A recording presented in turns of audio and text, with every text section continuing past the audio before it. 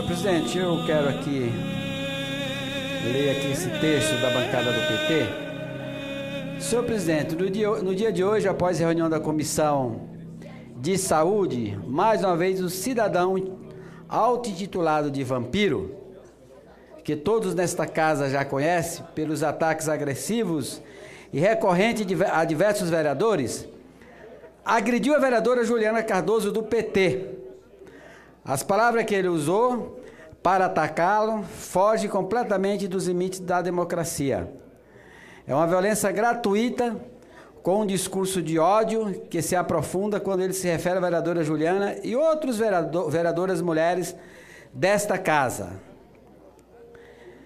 Se contra os vereadores homens as, as ofensivas são caluniosas, contra as mulheres são ofensivas, são as ofensivas tão sexistas e miss, miss, missiônicas, misso, missozinhas.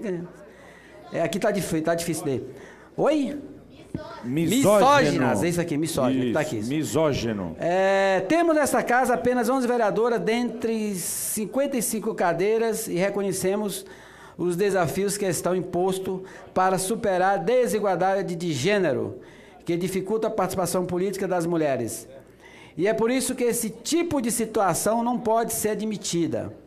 Os ataques desse senhor vereadora Juliana se estendem à sua família, já que ele invadiu a rede social da filha, a adolescente da nossa vereadora, assim como os amigos dela, para defam, defamá-la, constrangê-lo ao ao ser acionado judicialmente pela vereadora Juliana.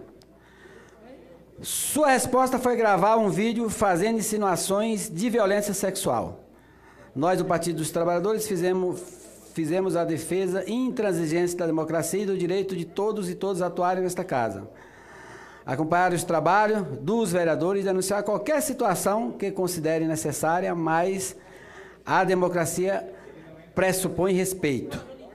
Por isso, senhor presidente e demais vereadores desta casa, gostaria de solicitar que fossem tomadas providência para impedir que esse senhor conhecido como vampiro entre no pé da Câmara Municipal e demais espaços em que estiverem ocorrendo atividade do Poder Legislativo Municipal.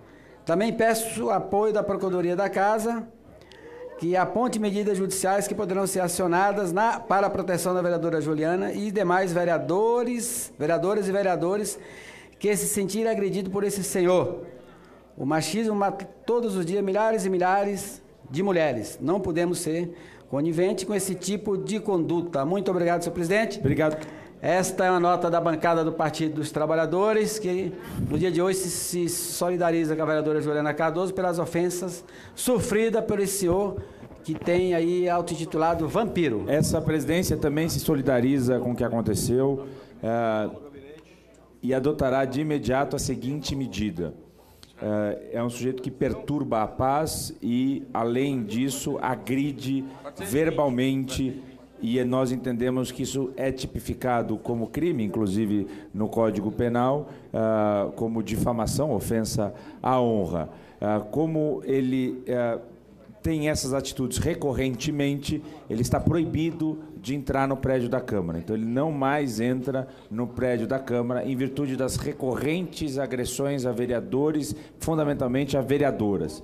Quanto à questão é, é, legal, jurídica, uh, existe um trâmite próprio, registro de boletim de ocorrência, e aí a provocação daquele que se sentiu ofendido uh, junto à delegacia, mas fundamentalmente junto ao fórum uh, criminal, aí sim, né, numa representação ou de explicação judicial ou de ofensa à honra, o crime de difamação. Então, essa é a medida que essa presidência vai tomar, protegendo a, a in, in, integridade, honra das mulheres dessa casa e dos vereadores de uma forma em geral, fundamentalmente quanto a esse caso. Vereadora Adriana Ramalho, tem Vossa Excelência a palavra.